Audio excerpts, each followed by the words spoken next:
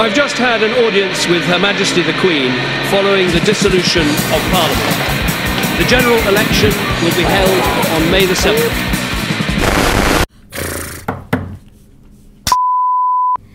My name is Maisie Williams. I turn 18 on the 15th of April.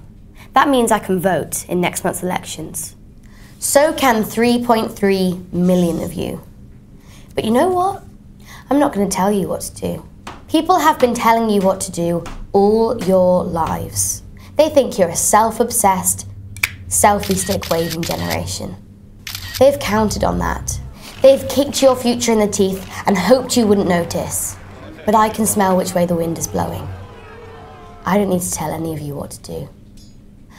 I just have one question Who's next?